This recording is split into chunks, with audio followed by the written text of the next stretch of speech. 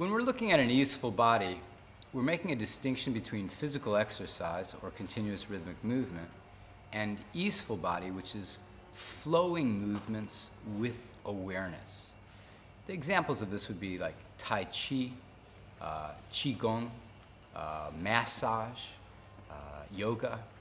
These movements are not necessarily taking us always into our target heart rate zone or working us aerobically, but they're more flowing movements with concentration, a meditative awareness that lengthens the body, improves lymph flow, and allows us to cultivate this mind body harmony and dynamic.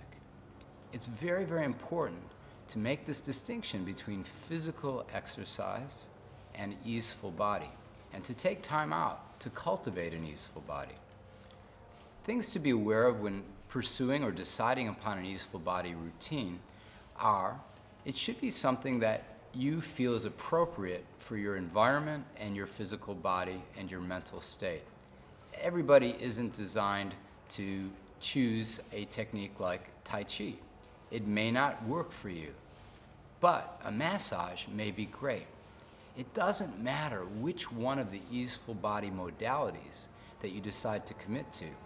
What is important is that you make a commitment to doing it and you don't think that just because you run for a half an hour six days a week that you're cultivating an easeful body. Perhaps it's just the opposite, that your running would benefit from the fact that you had regular massage to lengthen, stretch, and allow this mind-body awareness to be cultivated through awareness, through movement, and being a person who is somewhat sport-oriented or physical exercise-oriented may preclude you to even thinking about an easeful body, which can tend to be a slower, more concentrated, more meditative approach to movement.